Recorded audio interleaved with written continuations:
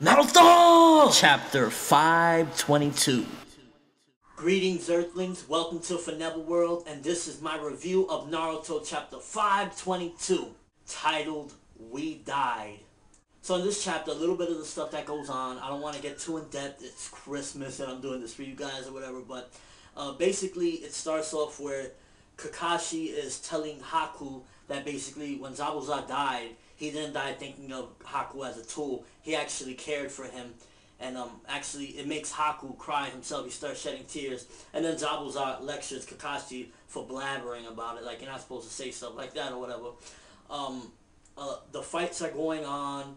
And right before everything starts, Zabuza tells Kakashi his final words, Stop me by any means necessary. I died as a human already. So, you know, automatically Zabuza is like losing control, you know, he really don't have much control. And he's like, stop me by any means necessary.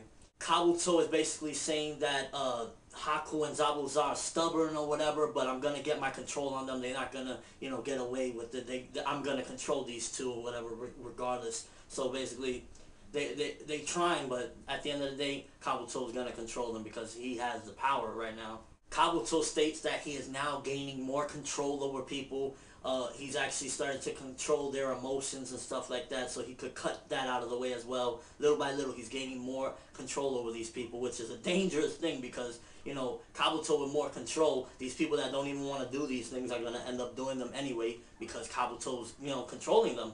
Jugo and Suigetsu have escaped from jail, but Suigetsu can't find his sword or whatever. Zabuza and Kakashi are locked in a struggle, you know, in a fight or whatever. And then Kabuto takes the next step in having Gari and Pakura summoned. Several fights are going down or whatever, so this chapter was, you know, heavy, had a lot of material in it, stuff like that, really nicely done.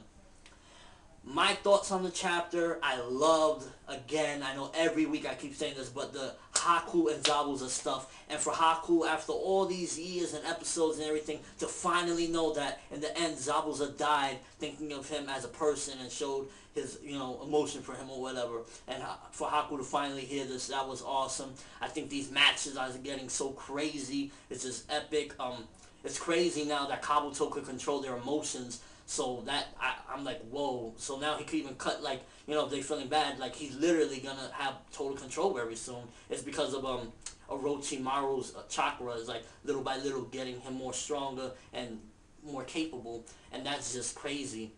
Um, I thought the chapter was awesome. I think Kishimoto continues to go in the right direction with this manga. It's not like a you know, ever since 515, he been going little by little. There was a setback for a week or two, but then like last week and this week, he's continuing to go hard with it, and um, I'm loving it. I'm looking forward to the next chapter. Most likely next chapter, we're going to have um, maybe the, the finale with the Haku and Zabuza stuff. Maybe Kakashi's finally going to get him.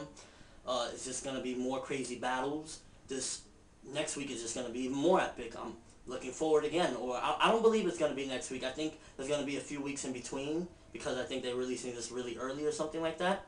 But we're going to enjoy it anyway. I'm looking forward to the next one. I think the next chapter is going to be awesome. What do you guys think? Are you looking forward to the next one? Let me know in the comment section below. I'm ForneverWorld. Thanks for watching, people.